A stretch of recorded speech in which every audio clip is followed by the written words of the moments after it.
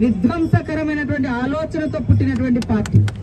ఆ రోజు ఆనాడు బ్రిటిష్ సంఖ్యలను తెంచడం కోసం మా నాయకులు గాంధీ గారు నెహ్రూ గారు సర్దార్ వల్లభాయ్ పటేల్ గారు ఇట్లాంటి ఎంతో మంది మహనీయులు పోరాడుతుంటే వీళ్ళ వారసుడు వీళ్ళ ఆర్ఎస్ఎస్ నాయకుడు సవార్కర్ బ్రిటిష్ వాళ్ళతోటి కుమ్మక్కైనటువంటి నాయకుడు.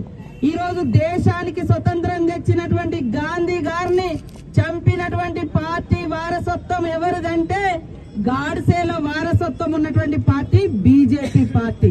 గాంధీ వారసత్వం ఉన్నటువంటి పార్టీ కాంగ్రెస్ పార్టీ.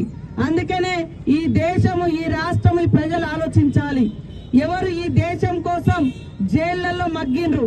ఎవరు ఈ దేశం కోసం త్యాగాలు చేసిరు స్వేచ్ఛ కోసం పోరాటం చేసిరు ఆ స్వేచ్ఛను అడ్డుకోవడం కోసం ఆనాడు బ్రిటిషర్లతోటి కలిసిపోయినటువంటి పార్టీ గాడ్సేల పార్టీ గాంధీని చంపినటువంటి పార్టీ బీజేపీ పార్టీ వాళ్ళ నాయకులు ఇవాళ తన్వీర్ సింగ్ ఎమ్మెల్యే మాజీ ఎమ్మెల్యే అదే విధంగా సంజయ్ సింగ్ గైక్వాడ్ అత్యంత దురదృష్టకరంగా రాహుల్ గాంధీ గారు పేదల కోసం పోరా- పోరాడుతున్న నాయకుడు.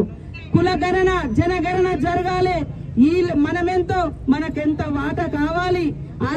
అప్పుడే ఈ పేదరికం పోతుంది సామాజిక న్యాయం జరుగుతుంది రిజర్వేషన్ ఉండాలి పేదలకందరికి న్యాయం జరగాలని అసం పార్లమెంట్లో కొట్లాడుతున్నటువంటి నాయకుడి మీద కావాలని ఇవాళ వాళ్ళన్ని దుర్మార్గాలు చేస్తారు. వాళ్ళ గురించి మాట్లాడితే దేశం పరుగు పోయిందని అరే ఆర్ఎస్ఎస్ గురించి మాట్లాడితే ఆర్ఎస్ఎస్ అనేది ఒక సంస్థ మీ బీజేపీ సంస్థ.